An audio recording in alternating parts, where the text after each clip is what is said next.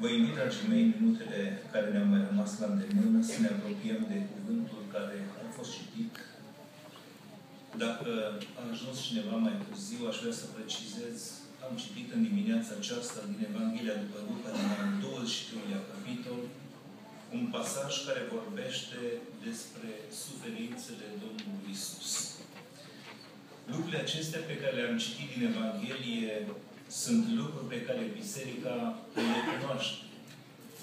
Biserica primară, ori de câte ori a sărbat cina Domnului, a proclamat suferințele Domnului Isus și pe urmele lor pășim și noi, proclamăm de aceea suferințele Domnului Isus, moartea Lui și învierea Lui, cu atât mai mult cu cât în ziua de astăzi avem în fața noastră această sărbătoare deosebită. N-am să vă spun lucruri noi în dimineața aceasta, doar am să punctez lucruri pe care dumneavoastră le știți. Dar aș vrea să cugetăm încă o dată la ele și apoi cu inima recunoscătoare, plină de mulțumire, să ne apropiem de Dumnezeu. Dimineața aceasta am citit despre momentul în care Mântuitorul Iisus a fost judecat de către Pilat. Înțelegem că a fost judecat în dimineața aceea și de către Irod, și măcar că s-a spus despre el în câteva împrejurări în dimineața aceea că nu s-a găsit nicio vină în el, în cele din urmă totuși a fost dat în mâinile norodului, ale preoților celor mai de seamă, ca să fie răstignit. Atunci când Pilat i-a declarat nevinovăția, a întrebat pe norodul care l-a adus pe Iisus înaintea lui. Dar ce rău a făcut?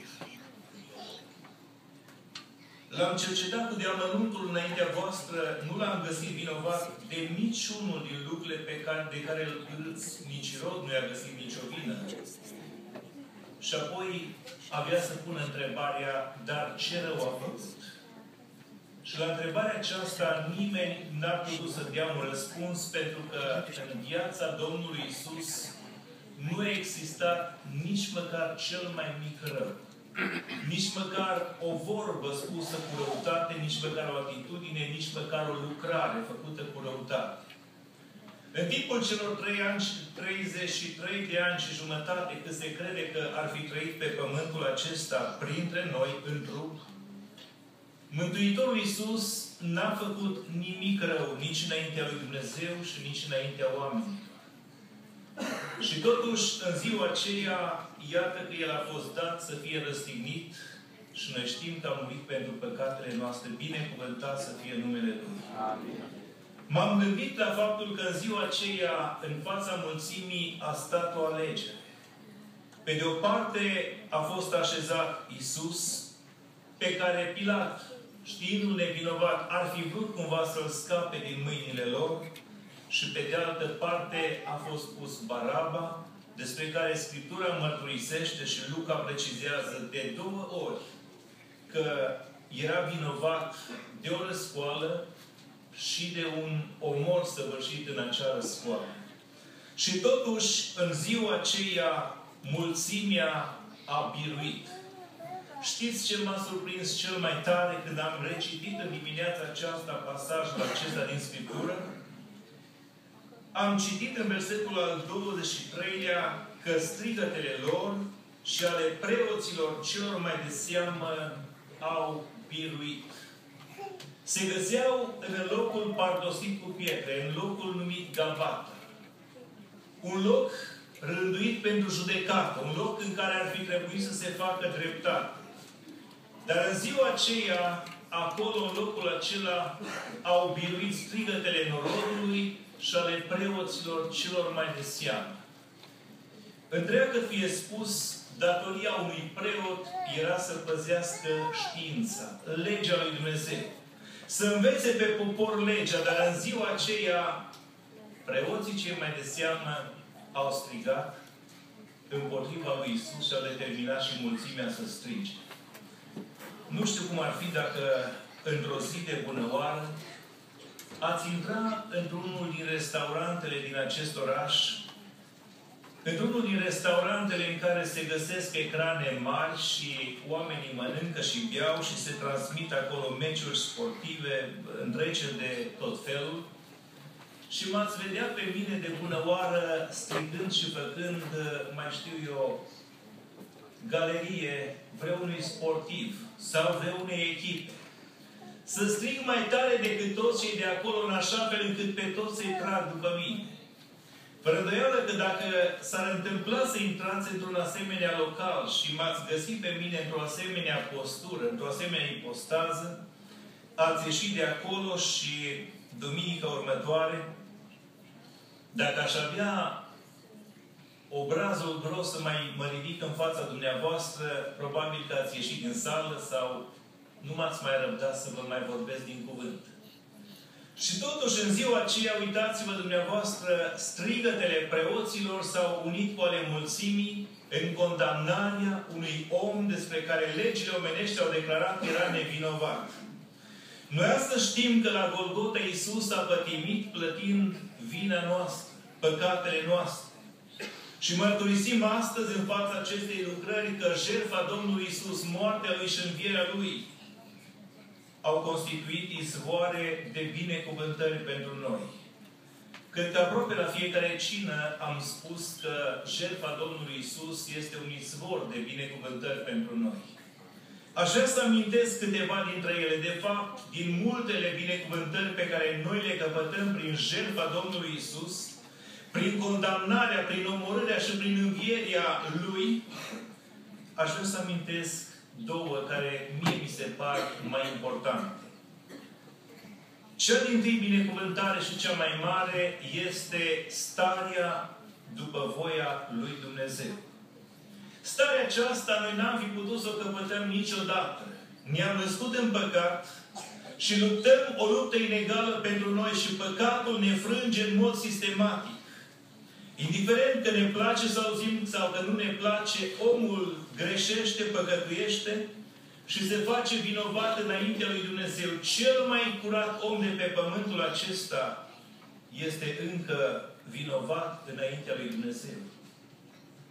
Întreba David în psalmul 24, în vremea lui, Cine se va sui la muntele Domnului? Cine va locui acolo cu Domnul?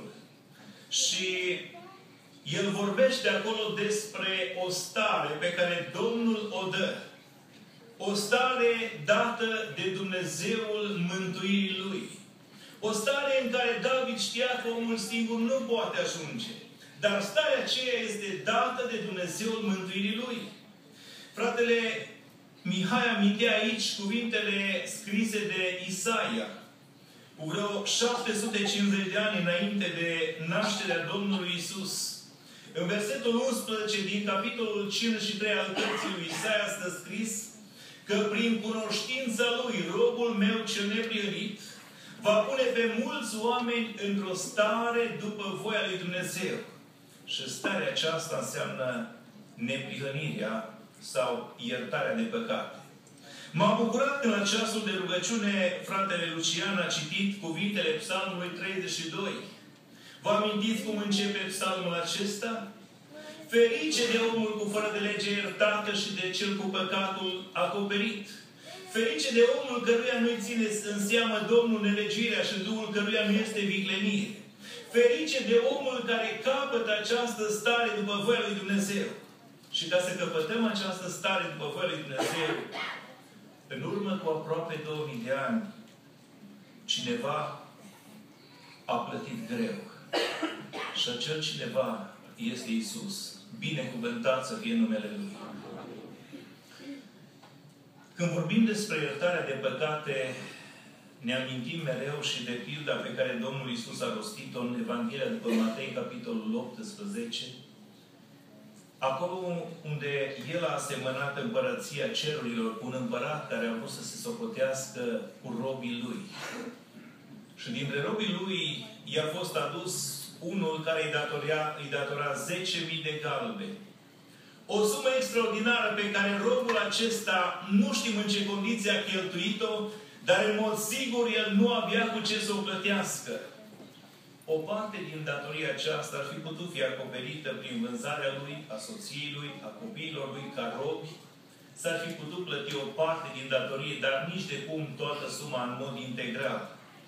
Și pentru că robul acesta înțelegea că nu are cum să plătească datoria pe care o avea față de împărat, robul acesta s-a aruncat în genunchi înaintea împăratului și i-a cerut o favoare. Știți ce a cerut? I-a cerut păsuire. Mai îngăduiește-mă și îți voi plăti. O, cât era de naiv robul acesta, dacă își putea închipui că el ar fi putut vreodată să plătească o datorie atât de mare. Dar pentru că împăratul acela era mai înțelept decât robul și pentru că știa că robul niciodată nu va fi în stare să-i plătească datoria, citim cuvintele Domnului Isus care spunea că împăratul a hotărât să-i ierte toată datoria. Oricât a fost de mare, împăratul a hotărât să-i o ierte. Și robul acela a ieșit din, tron, din sala tronului de dinaintea împăratului cu datoria iertată. Pentru ca eu și tu să avem datoria iertată înainte lui Dumnezeu, ar trebui să plătească Isus. Binecuvântat să fie numele Amin. Păcatele noastre au fost puse pe umerii Lui.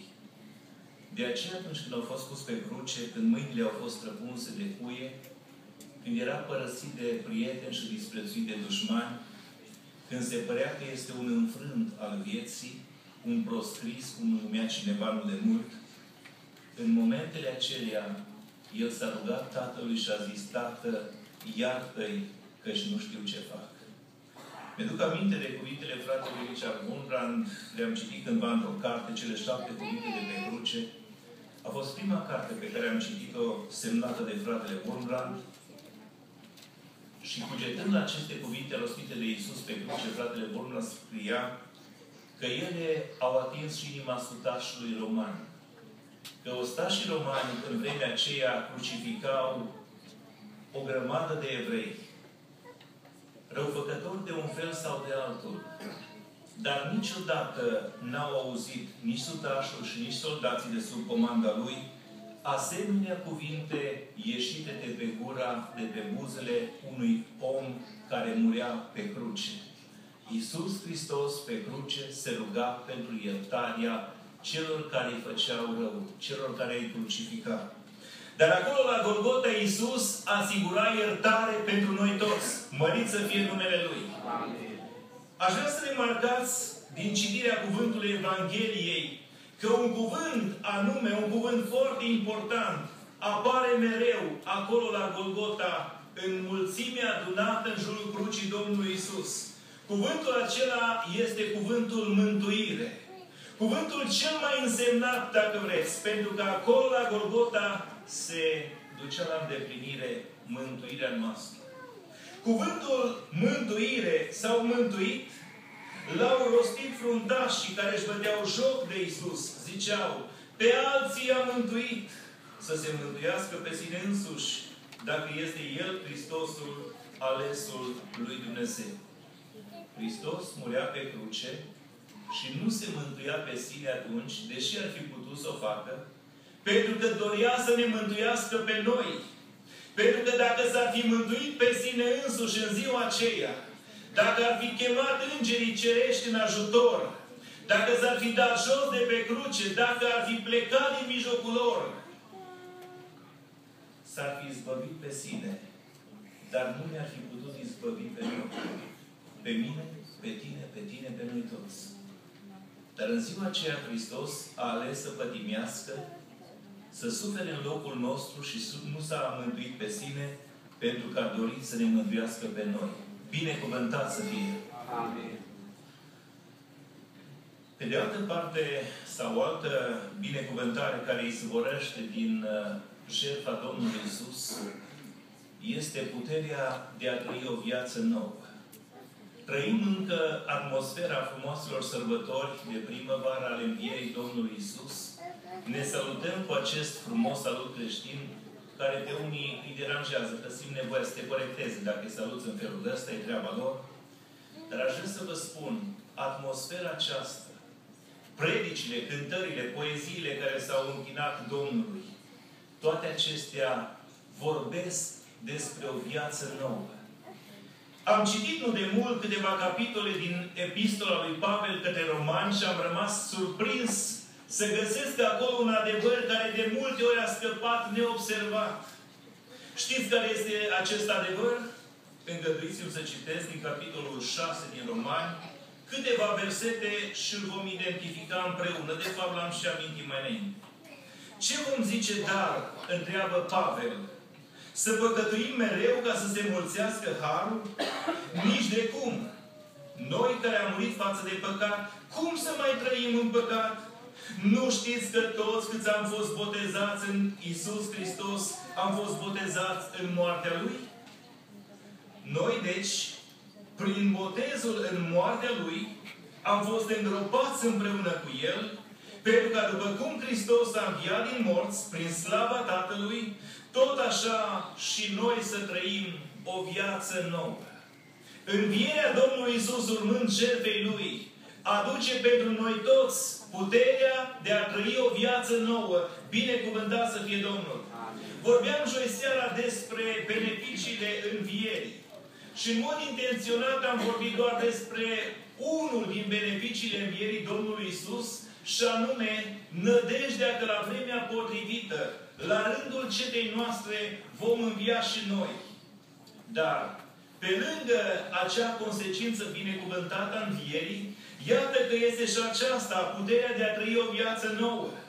Și dacă veți citi cu atenție câteva capitole din Epistola către Romani, veți constata că Pavel pune un accent deosebit pe puterea de a trăi o viață nouă. Și Pavel ne spune prin cuvintele acestei epistole că noi nu mai datorăm nimic firii pământești la să ascultăm de ea. Că este de datoria și în responsabilitatea noastră să nu ne mai dăm mădularele noastre păcatului. Și să le facem roabe sau unelte ale neprihănirii.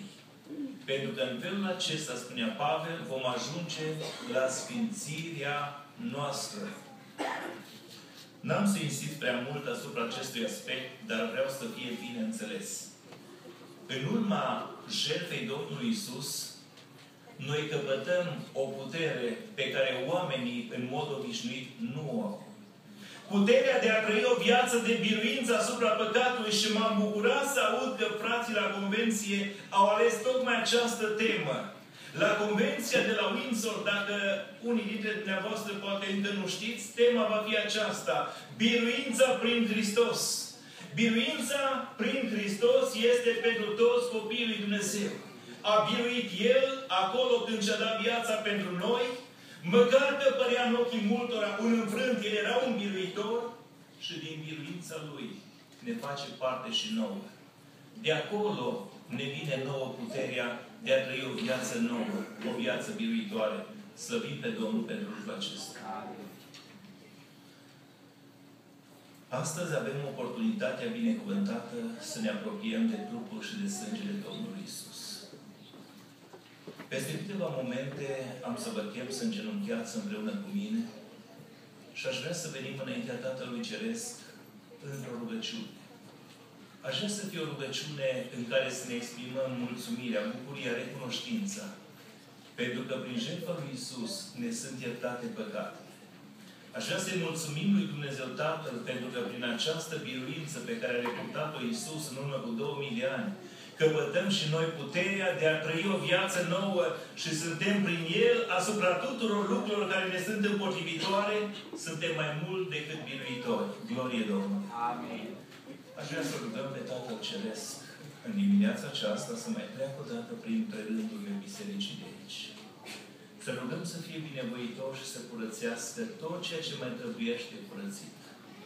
Eu mă gândesc că știm că avem în față cina Domnului, frații, surorile s-au pregătit. S-au luptat după puterile lor. Dar trebuie să recunoaștem, puterile noastre sunt atât de mici să rugăm pe El să completeze ceea ce lipsește pregătirii noastre. De a mai rămas ceva. Stau și mă gândesc de multe ori, cu câtă ușurință rostim tot felul de cuvinte. Și Mântuitorul Iisus a spus la un moment dat, în Evanghelia după Matei, din cuvintele tale vei fi scos nevinovat sau din cuvintele tale vei fi scos o sândit, vinovat și o sândit. Și mă gândesc de atâtea ori, vorbim cu atâta ușurință și spunem tot felul de lucruri. Într-unul din psalmi am găsit un cuvânt care mi-a dat de gândit. Psalmistul din vechime a fost inspirat de Duhul Dumnezeu să spună despre poporul Israel. Ei au cârtit în corturile lor. Noi ne ferim să cârtim când suntem în casa lui Dumnezeu. Ne ferim să cârtim atunci când în jurul nostru sunt frați sau surori. Ne ferim să vorbim cu nemulțumire atunci când suntem la locul de muncă sau poate într-o altă împrejurare. Dar psalmistul zicea, i-au cârtit în corturile lor. Nici măcar în cortul meu, nici măcar în cortul tău, noi nu avem îngăduința să cârtim sau să murmurăm. Și dacă luăm doar acest lucru și îl aplicăm vieților noastre și ne verificăm, ar trebui să recunoaștem că ne-am îngăduit să spunem multe lucruri care pot fi incluse în categoria aceasta. A nemulțumirii, a murmurului, a cârtirii. De aceea vă chem să ne rugăm ca Dumnezeu să ne curățească de toate aceste lucruri. De orice gând care este neroditor și a ajuns să fie semănat în mintea noastră. Mi-am închipuit mintea omului și cuvântul acesta mă voi apropia de încheiere. Mi-am închipuit mintea omului ca și pe o adresă de e-mail. Vă vine ușor să înțelegeți simbolul acesta pentru că toți aveți adrese de e-mail. De la vreo 4-5 ani deja copiii au, cred, cei mai mulți. Cei care sunt mai mari, sigur au, una sau două. Acolo vrășmașul pune tot felul de gânduri. Dar dacă ai dat click să deschizi, te-ai făcut vinovat de gândul acela. Dacă l-ai dat spam sau delete, înainte de a deschide, gândul acela nu ți-e socotit. De aceea să rugăm pe Tatăl Ceresc să ne curățească El pe deplin, să ne așeze într-o stare după voia Lui. Și poate face lucrul acesta prin sângele jertfei Domnului Isus. Ne vom pleca la rugăciune. Vom mulțumi Tatălui Ceresc.